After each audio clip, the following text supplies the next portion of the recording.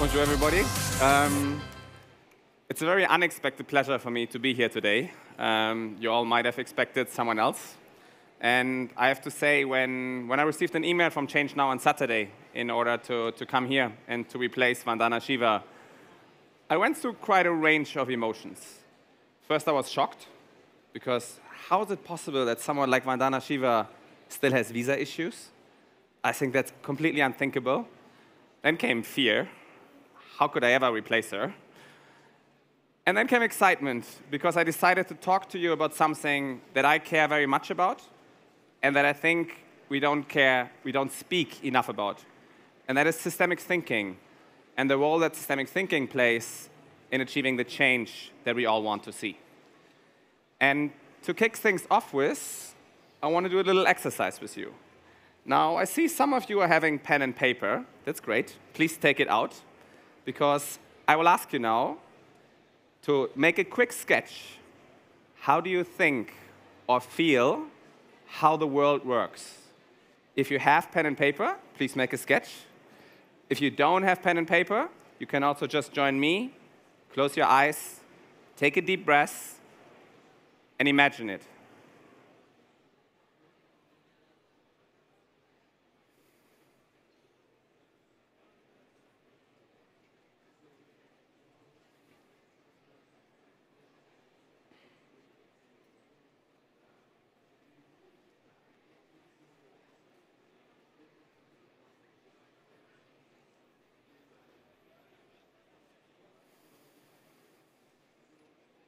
Okay?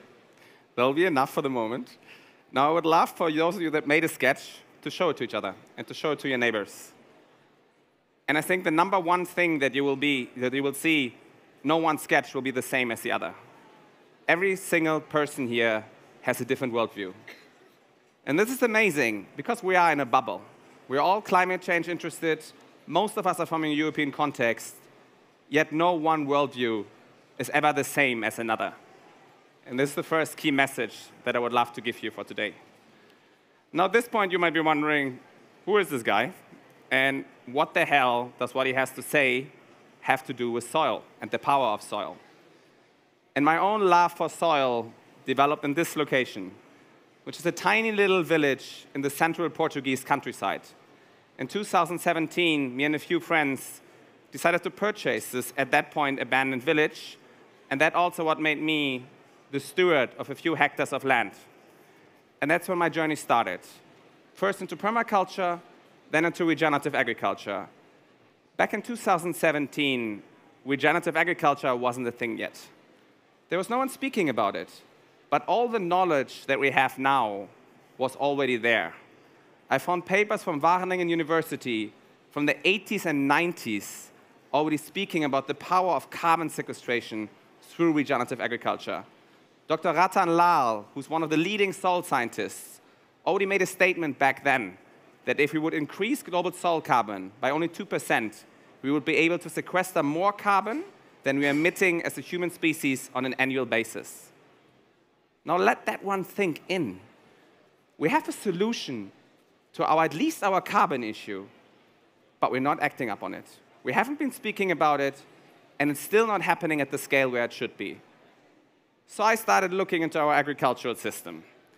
And what I saw was really not pretty. Our agricultural system is fucked up. You all have seen the farmer protests in the last few months all over Europe. Those are just symptoms of a much bigger underlying issues. Over the last 50 years, farmers have consecutively been bashed in our agricultural system. A farmer nowadays, if you buy a liter of milk, gets 30 to 40% of the money that you're paying yet he does 90% of the labor. In the 70s, there was at least still 50 to 60%. So they're getting less and less money while their costs are rising and while they are the ones who are experiencing the effects of climate change the most. And they're left alone with that risk and they're not getting paid for it. Which leads to the fact that farming is not sexy. Nobody puts being a farmer on their Tinder profile, nobody wants to become a farmer, and farmers are a dying out generation. They're in their late 50s and there's no one to take their farms over. And that means we are full head towards a food crisis in the European Union. On top of that, we have a massive issue with the ecological impact on farming. Hopefully, you all know the planetary boundaries, an amazing concept invented by the Club of Rome, who are also present here. And agriculture is one of the main reasons for us crossing these planetary boundaries. It's the number one reason for biodiversity loss in the world, and it's responsible for 24% of all greenhouse gas emissions. Now remember, we could sequester carbon through agriculture, yet we are massively emitting it. And finally, you might think, at least it's driving an economy, right? But actually, if you look at the economic impact of agriculture, it's negative. Do you know why? Because we have costs of agriculture which are not accounted for in our, in our agricultural system. And those are health costs and environmental costs. The main company that's producing chemical fertilizer products is Bayer. You probably heard about glyphosate. We estimate that we have 11 billion euros in damages with health products. Who's selling you medicine? The same company that's selling the farmers the poison that made us sick in the first place. And we're supporting this and we're subsidizing this in our system. It's crazy. So, this is kind of where I was like, okay, how is this possible? We know regenerative agriculture, we know it builds biodiversity, we know it sequesters carbon, we know it helps with drought prevention and flooding prevention because it also builds up healthy salts which soak up water, but it's not happening. And nobody is speaking about it. And that's where me and my co-founder Ivo started Climate Farmers in 2019 with one single goal, scaling regenerative agriculture in Europe and getting to at least 10% of all European farmland under regenerative management by 2027. 10% because we believe at that point we have enough farms which can function as role models for other farmers so that farmers can see a farm which is similar to their context, they can get inspired by it, and they can also jump on their train. And we believe once we get to 10%, we will have an avalanche effect. And we will get to 100% because it's just purely logical once you have seen the magic and the power of regenerative agriculture in action. When we started, we estimate we had about 1,000 to 2,000 farmers doing regen ag. Now we have around 200,000. So we are 2%, still nothing out of the 10 million farmers that we have in the European Union. So still a long way to go. Our overall mission as climate farmers is to see a world where humans found their place within the larger ecosystem again. We believe humans are a keystone species, an honorable title that we share with beavers, for example, which means we have a larger than, than most other animals impact on our environment. Right now, we are destroying it.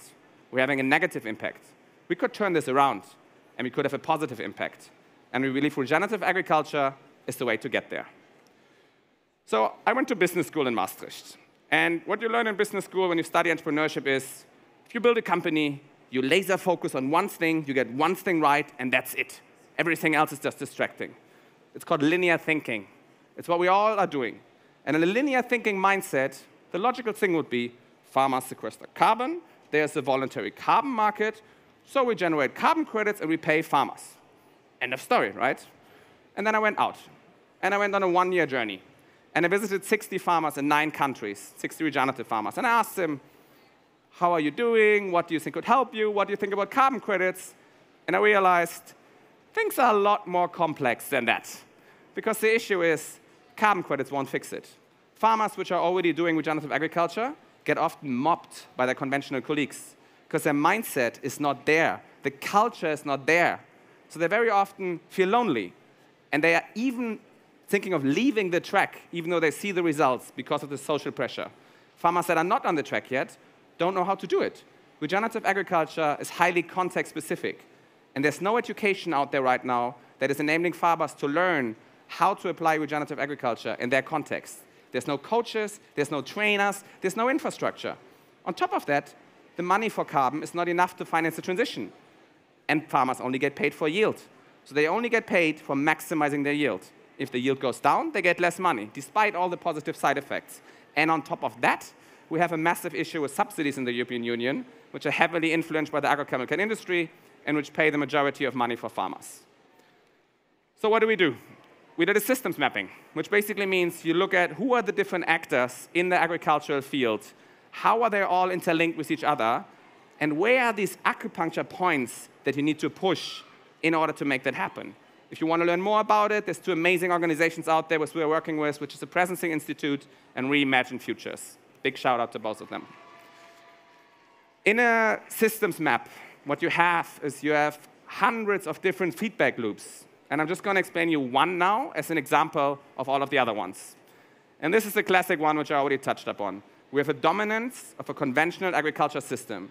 This dominance leads to several companies such as Bayer and Syngenta making massive amounts of money. Now, in our capitalist system, what do you do when you have a lot of money? You hire a lot of lobbyists, and you let these lobbyists influence politics. Bayer has the most amount of lobbyists of any organization in the world in Brussels. What does that lead to? Inadequate policy, because the politicians are obviously influenced by the lobbyists. What do they do?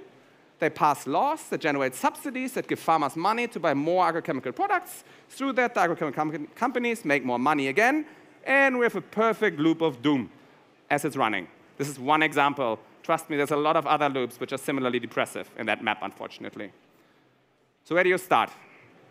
Donella Meadows is someone like the queen of systems thinking, and she came up with a leverage point for systems transformation. There are three key leverage points there, which is cultural, structural, and practical. The most impactful one is the cultural one. So this is where we began.